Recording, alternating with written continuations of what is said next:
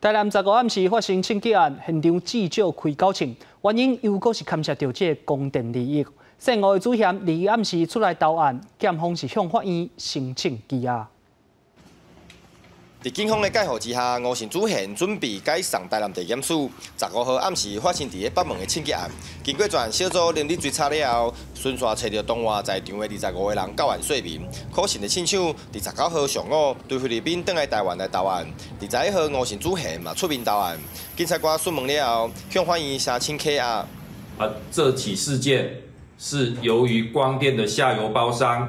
在施工进行中所引起的纠纷，进而引发的冲突。经检察官晚间讯问，任其涉嫌违反枪炮弹药刀械管制条例等罪嫌，犯嫌重大，且有勾串灭证、逃亡之余，向法院申请羁押。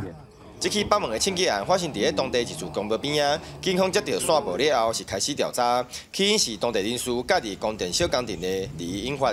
甲去年的客家八十八层的枪击案，情节来比是较细，但是警方强调将会专力来扫恶。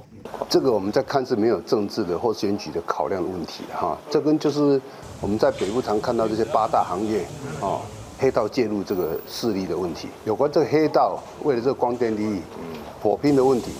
我们绝对不容许这样的事件再发生，所以我们绝对会再发动一波的扫黑。